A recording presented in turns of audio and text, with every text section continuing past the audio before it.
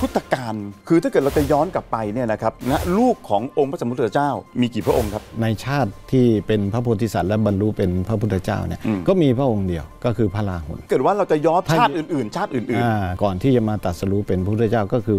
ชาติที่เกิดเป็นพระเวสสันดร ก็มีบุตรสองคนก็คือกันหากับชาลี ชาลีนี่ก็คือพระราหุลมาเกิดเป็นพระราหุลๆกันหาแล้วคกัรับนหาเนี่ยเนื่องจากว่าตอนที่ชูชกมาขอบุตรแล้วพระเวสสันดรก็ประทานให้กันหาเนี่ยรู้สึกว่าพ่อไม่รักไม่ขอมาเกิดเป็นลูกอีก ในชาติสุดท้ายเนี่ยจึงเป็นพระนางอุบลวรรณาไม่ได้เป็นลูกของพระพุทธเจ้าไม่ได้เป็นหลาย ๆ คนมาแอบอ้างว่าเป็นลูกพุทธเจ้าบ้างเป็นเอ่อพญานาคเป็มันนมีอะไรคนที่แอบอ้างอย่างนั้นด้วยเหรอครับเนี่ยโอ้โหเดี๋ยวนี้ตายแล้วเยอะผมฟังแล้วผมตกใจมากเลย ถ้าเราอ่านหรือศึกษาพระไตรปิฎกแบบนี้เราจะเห็นว่าโอ้ในชาตินั้นเป็นเอ่อลูกพุทธเจ้า ลูกพระโพธิสัตว์ องค์นั้นองค์นั้นแล้วกลับชาติมาเกิดเป็นคนนี้พุทธเจ้าตัดไว้หมดเลยครับ ไม่มีทางดิ้นหลุด ไปไหนได้ ที่ท่านอาจารย์พูดมาเมื่อกี้เนี่ยเป็นไปตามพระสุตตปิฎกครับ เกี่ยวกับเรื่องการบันทึกประวัติพระพุทธเจ้า ประวัติสาวกของพระพุทธเจ้า ประวัติการแสดงธรรมของพระพุทธเจ้าอืมและธรรมที่แสดงมีอะไรบ้างพระสูตรคือมาในพระไตรปิฎกครับทีนี้พระไตรปิฎกฉบับดังกล่าวนั้นนะครับนำไปสู่การบัญญัติการระบุชัดเจนว่าพระพุทธเจ้าตรัดไว้อย่างไร ผมย้ำอีกครั้งหนึ่งนะพุทธประวัติเนี่ยเราจะเรียนรู้ได้ยังไง แล้วทำไมถึงรู้ว่าอะพระพุทธเจ้ามีลูกชื่อนี้ได้ยังไง เอ๊ะทำไมพระเจ้าเป็นอย่างนี้อย่างนี้เอาแล้วรู้ได้ยังไง ทั้งหมดเนี่ยมาจากพระไตรปิฎกเราต้องเรียนรู้นะครับจากพระสูตรครับไม่ใช่เรียนรู้จากการที่อยู่ดีๆเนี่ยไปบอกว่ามันเป็นแบบนั้นเป็นแบบนี้นิมิตฝัน หรือมีคนมากระซิบบอก เข้าใจว่ามีเทพมาบอกแล้วมาบอกอันเนี้ยมันพิสูจน์ไม่ได้ครับมันมีเพจเพจหนึ่งชื่อว่านิรมิตเทวาจุติ คือต้องบอกก่อนนะเขาก็ไม่ได้ผิดอะไรในความเชื่อของเขา แต่บังเอิญว่าเพจของนิรมิตเทวาจุติหยิบยก คำพูดของท่านด็อกเตอร์ออกมา แล้วแปลความหมายว่าจริง ๆ แล้วการเชื่อมจิตเนี่ยมันมีอยู่ในพระไตรปิฎกคำอธิบายนะครับ ความหมายของพระสูตรคำว่าอาเนชสมาธิ หมายถึงการสื่อสารพูดทางภาวะจิตในสมาธิ แม้จะระบุว่าเป็นการสื่อสารจิตในสมาธิ มิใช่คำว่าเชื่อมจิต แต่ความหมายของคำว่าเชื่อมจิตก็คือการสื่อสารทางจิต เช่นเดียวกัน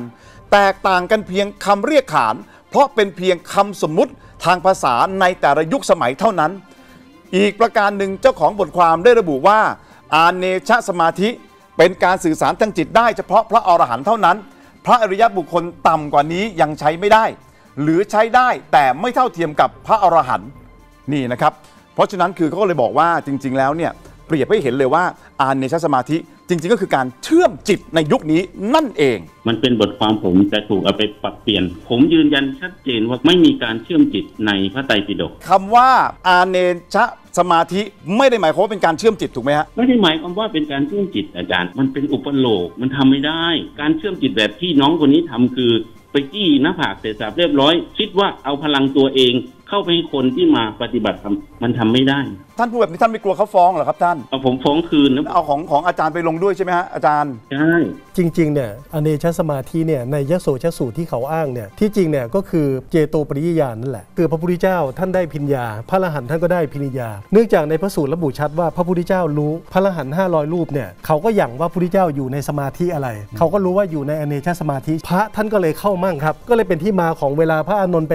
ทูลถามยามหนึ่งยามสองยามสามว่าเมื่อไหร่พระองค์จะไปคุยกับพระที่เชิญมาพระพุทธเจ้าบอกไม่ต้องคุยแล้ว เพราะว่าพระเขารู้แล้วว่าเราเข้าอเนชสมาธิ เราก็เข้าเนชเขาก็เข้าเหมือนเรา เพราะฉะนั้นทั้งอเนชสมาธิที่พระพุทธเจ้าเข้า ที่พระอรหันต์ห้าร้อยรูปเข้าเนี่ยเป็นการนั่งมีความสุขอยู่ในธรรมแต่ไม่ได้นั่งคุยกัน ไม่ได้คุยกัน ก็เลยนั่งทำด้วยกันแค่นั้นเองครับครับ อยู่ในธรรมนิ่งๆครับผมแล้วถ้าเกิดจะบอกว่าเอ่อมีรูป ขององค์พระสัมมาสัมพุทธเจ้านะฮะเป็นพญานาคราชครับนะครับจุติลงมาเกิดเพื่อโปรดสัตว์สามารถใช้อานิชยสมาธิในการพูดคุยอย่างนี้ได้ไหมฮะมันมันคนละเรื่องกันเลยครับ ก็คือต้องเอาให้แน่ มันมันย้อนแย้งกันตั้งแต่บอกว่าเป็นนาคราช แล้วเป็นบุตรพระพุทธเจ้าแยกกัน 3 เรื่องเลยนะครับครับหนึ่ง เป็นบุตรพระพุทธเจ้าก็อีกเรื่องหนึ่งสองเป็นนาคราชก็อีกเรื่องหนึ่งสามเป็นนาคราชลงมาจุติแล้วทำไมเข้าอเนชสมาธิได้ เนื่องจากอเนชสมาธิต้องเป็นวิสัยของอรหัตผล ก็คือคนเป็นพระอรหันต์แต่ฟังข่าวเขาบอกว่า